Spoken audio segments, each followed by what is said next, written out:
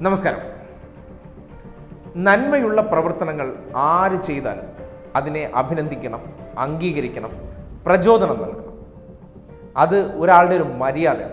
അത് ഒരാളുടെ ആയിരുന്നാലും ഏതൊരു സംവിധാനത്തിന്റെ ആയാലും. അത്തരം പ്രവർത്തനങ്ങൾ ഈ നാടിന് ആവശ്യമാണ്. പറഞ്ഞു വരുന്നത് ഡിവൈഎഫ്ഐ നടത്തിയ റീസൈക്കിൾ കേരള എന്ന പദ്ധതിയെക്കുറിച്ചാണ്. ഒരുപക്ഷെ കേട്ടുകേൾവിയില്ലാത്തൊരു പദ്ധതിയാണ്. ലോകത്താകമാനം പരിശോധിച്ചാൽ ഒരു സംസ്ഥാനം കടുത്ത സാമ്പത്തിക പ്രതിസന്ധിയിൽ നട്ടം തിരിയുന്ന സന്ദർഭത്തിലാണ്. ഇത്തരത്തിൽ ആ സർക്കാരിന്റെ ഖജനാവിലേക്ക് അല്ലെങ്കിൽ C M D R F പോലുള്ള ഒരു ഫണ്ടിലേക്ക് പൊതുജനങ്ങളെ സഹായിക്കാൻ വേണ്ടി സർക്കാർ ഖജനാവിലേക്ക് പതിനൊന്ന് കോടി രൂപയോളം അവർ പ്രയത്നിച്ച് കണ്ടെത്തി സംഭാവന നൽകുകയാണ്. എന്തൊരു സമാനതകളില്ലാത്തൊരു മാതൃകയാണ് ഡിവൈഎഫ്ഐയുടെ കേരളത്തിലെ യൂണിറ്റുകൾ ചേർന്ന് കേന്ദ്രീകരിച്ചാണ് ഈ അടുത്ത ദിവസം. ഇത്തരത്തിൽ കൊറോണ കാലത്തുൾപ്പെടെ സർക്കാർ ഖജനാവിലേക്ക് സാമ്പത്തിക പ്രതിസന്ധി വന്നപ്പോൾ ഈ ഒരു പരിപാടി നടപ്പാക്കിയത്. വളരെ മാതൃകാപരമായ ഇടപെടലാണ്. ഈ നാട്ടിലെ യുവത്വങ്ങൾക്ക് ഒരു ദിശാബോധം ഉണ്ടാക്കുന്ന ഒരു പ്രവർത്തനമായിരുന്നു ഡിവൈഎഫ്ഐയുടെ നേതൃത്വത്തിലുണ്ടായത്. നിർഭാഗ്യവശാൽ ഇവിടുത്തെ മാധ്യമങ്ങൾ അതിനെ വേണ്ട രീതിയിൽ കണ്ടില്ല എന്ന് നടിച്ചു. എന്തൊരു മോശമുള്ള ഇടപാടാണ്. ഒരു കാര്യം മനസ്സിലാക്കുക. നെഗറ്റീവ് മാത്രമാണ് വാർത്ത എന്ന് മാധ്യമങ്ങൾ ചിന്തിക്കുന്നത് വളരെ ഖേദകരമായിട്ടുള്ളൊരു കാര്യമാണ്. എന്ത് നല്ല കാര്യം നമ്മുടെ നാട്ടിൽ നടന്നാലും കുറ്റപ്പെടുത്തലുകളോടൊപ്പം തന്നെ അവർ ചെയ്യുന്ന നല്ല കാര്യങ്ങളെ അഭിനന്ദിക്കുക തന്നെ വേണം. ഒന്ന് ആലോചിച്ച് നോക്കൂ. മണ്ണ് ചുമന്നു. ഉപയോഗശൂന്യമായ സാധനങ്ങൾ പറക്കി വിറ്റും. കല്ല് ചുമന്നു. കിണറുകൾ വൃത്തിയാക്കി. വീടുകളിൽ പോയി ജോലികൾ ചെയ്തും. കരകൗശല വസ്തുക്കൾ ഉണ്ടാക്കി വിറ്റും കക്കവാരിയും മീൻ പിടിച്ചും. അങ്ങനെ ഏതൊക്കെ നിലയിലാണ് അവർ ഈ സാമ്പത്തികം കണ്ടെത്തിയെന്നറിയും? അത് പറഞ്ഞാൽ ഈ ഉറുമ്പുകൾ അവരുടെ ഭക്ഷണം സുരുക്കൂട്ടുന്ന ഒരു ശൈലിയുണ്ട്. അതുപോലെ കേരളത്തിൽ ആകമാനമുള്ള ഇരുപത്തി അയ്യായിരം ഡി വൈ എഫ് ഐ യൂണിറ്റുകളിൽ ഇരുപതിനായിരത്തോളം പ്രവർത്തന സജ്ജമായ യൂണിറ്റുകൾ ചേർന്ന് കണ്ടെത്തിയതാണ് ഈ വലിയ തുകയെന്ന് പറയുന്നത്. അതിനെ അവഹേളിക്കാം അല്ലെങ്കിൽ അപമാനിക്കാം. പക്ഷേ അത് ചെയ്യുന്നതിന് മുമ്പ് ഈ ചെയ്യുന്നവരും അല്ലെങ്കിൽ പറയുന്നവരും ഇതുപോലൊന്ന് ചെയ്ത് കാണിക്കും. എന്തൊരു അധ്വാനമാണ് അവർ ഇത്രയും തുക കണ്ടെത്താൻ വേണ്ടി നടത്തിയിട്ടുണ്ട് എന്നുള്ള കാര്യം നിങ്ങൾക്ക് അറിയാം. അതുകൊണ്ടാണ് പറഞ്ഞത് ആ പ്രവർത്തനം ഏറ്റവും ശ്ലാഘനീയമാണ് അഭിനന്ദനമാണ്. ഇത്തരമൊരു പ്രവർത്തനങ്ങൾ ഏകോപിപ്പിച്ചതും അല്ലെങ്കിൽ ഇത്തരമൊരു പ്രവർത്തനങ്ങൾക്ക് ചുക്കാൻ പിടിച്ചതും ഡിവൈഎഫ്ഐ സംസ്ഥാന അധ്യക്ഷനായ എ എ റഹീമാണ്.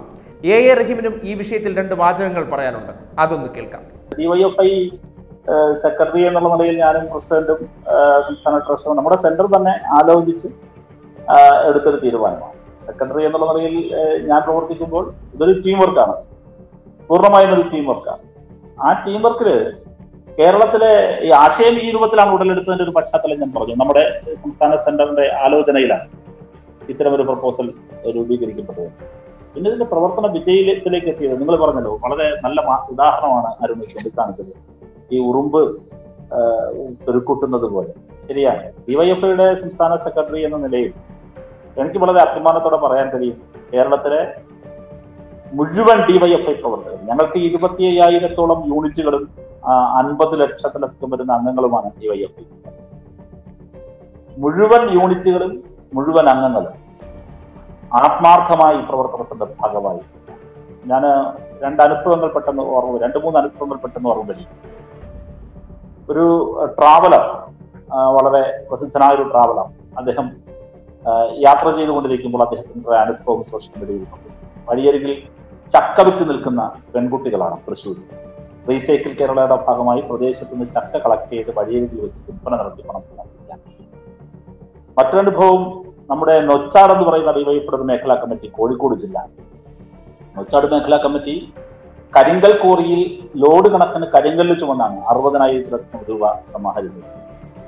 തിരുവനന്തപുരത്തെ കരിമഠം ഡിവൈഎഫ്ഐയുടെ യൂണിറ്റ് കമ്മിറ്റി ഒരു ലക്ഷം രൂപയാണ് സമാഹരിച്ചത്.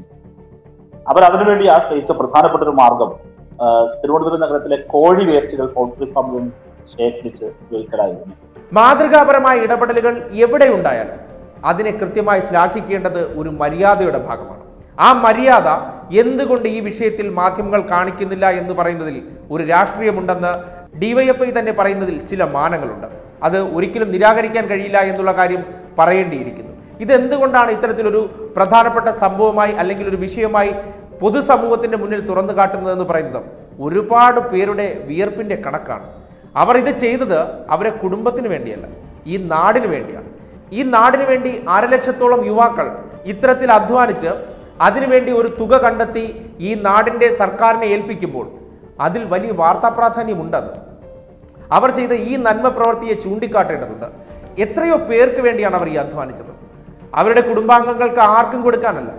ആ തുക എത്രയെത്ര പാവപ്പെട്ടവരുടെ കൈകളിലേക്കാണ് എത്തുന്നത് ഒരു പക്ഷേ ആക്ഷേപിക്കാം അത് രാഷ്ട്രീയ ആയതുകൊണ്ട് ഇനി സി പി എമ്മുകാരുടെ വീട്ടിലേക്ക് പോകുന്നു എന്തോ ആയിക്കോട്ടെ.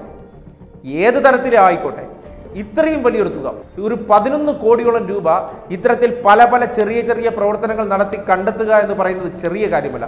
അതിൽ പഴയ പത്രങ്ങൾ പോലും പല വീടുകളിൽ ചെന്ന് കളക്ട് ചെയ്ത് വിറ്റ സംഭവമുണ്ട്. ഒപ്പം തന്നെ പല വീടുകളിലും പോയി ജോലി ചെയ്ത് ഒരു ദിവസത്തെ ശമ്പളം മേടിച്ചു കൊടുത്തവരുണ്ട്. ഓട്ടോ ഓടിച്ചവർ ആ ഒരു ദിവസത്തെ ശമ്പളം ഇത്തരത്തിൽ ഡിവൈഎഫ്ഐയുടെ ഈ റീസൈക്കിൾ കേരളയ്ക്ക് വേണ്ടി കൊടുത്തവരുണ്ട്. ഇതുകൊണ്ട് ഏറ്റവും വലിയൊരു ഉപകാരമുണ്ടായത് മഴക്കാലപൂർവ ശുചീകരണം എന്നൊരു പ്രവർത്തനം കൂടി നമ്മുടെ നാട്ടിൽ നടപ്പായി എന്നുള്ളതാണ് യാഥാർത്ഥ്യം.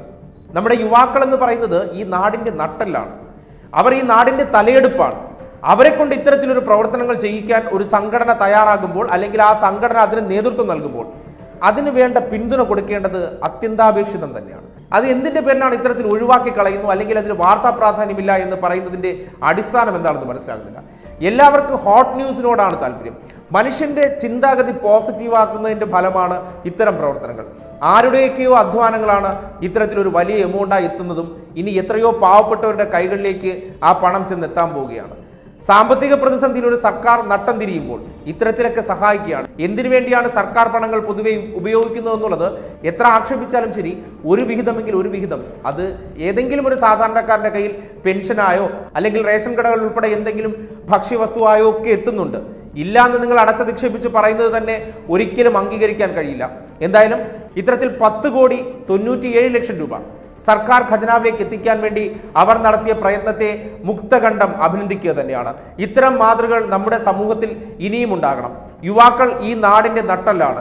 അവർ ഇത്തരത്തിലുള്ള പ്രവർത്തനങ്ങൾ നടത്തുന്നതിന് പ്രചോദനം നൽകുക തന്നെയാണ് വേണ്ടത്.